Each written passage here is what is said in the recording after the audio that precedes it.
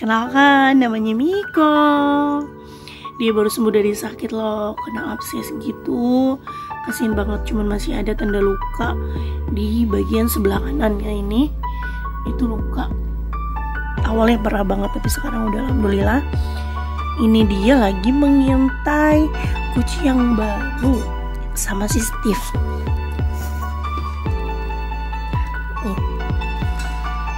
Ini kucingnya.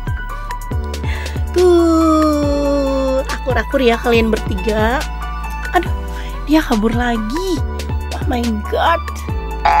Guys, Niko dari jauhan melihati melihatin si Steve. Dia kucing baru di sini jadi mungkin merasa asing. Tuh, tuh dia belum beradaptasi guys. Tuh, Hai Steve, Hey baby cat. Halo. Eh bulunya haus banget. Dia masih beruntung hidup nih. Kalau enggak dia sudah mati waktu itu.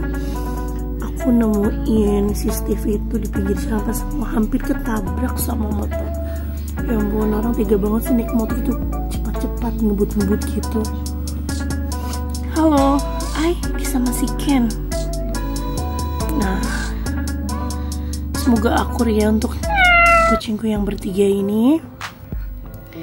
Mika, tuh, Mika masih mengintai dari jauh guys. Nah, ini dia berinteraksi, berinteraksi. Wow, uh, kisah sangat pilu banget nih. Ini kucing. Uh, kamu jangan berantem sayang kamu perkenalan dulu nih aku mau sedikit cerita untuk si Ken. Si Kenzo ini kasihan banget. Aku ngadopnya itu dia disia-siakan sama yang punya karena kasihan banget dia berkali-kali dicekik dibanting sama majikan yang sebelumnya. Karena aku dengar dari tetangga ya cerita. Kasian banget dia malang banget. Waktu itu dia datang kurus banget ini juga. Si Steve juga pertemuan kita juga. Pas di saat dia di jalan.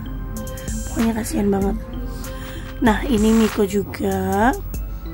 Nih ini kucing lucu. Dulu waktu ngadopsi itu dia masih umur sekitar dua bulanan deh. Masih kecil juga. Kalau Miko ini was pada saat itu pertama aku ketemu dia waktu saat Idul Adha bertemu dengan si Miko ya. Di saat dia lagi sakit waktu itu matanya bilekan gitu ya dan terus ditambah dia kurus dan kotor.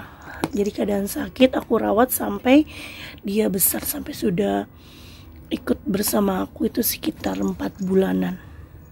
4 bulanan lebih lah guys aduh pokoknya aku sangat khawatir banget. Khawatir banget sama si Miko ini pas sakit. Waktu itu dia jalannya pincang. Dan kasihan banget. Untungnya dia tuh nurut banget diobatin aku balurin dengan uh, apa daun serai dan macam-macam obat aku beli untuk dia. Dan sampai konsultasi ke dokter Nah, alhamdulillah sekarang dia bisa berjalan dengan normal dan cuman hanya lukanya aja yang belum sembuh, guys.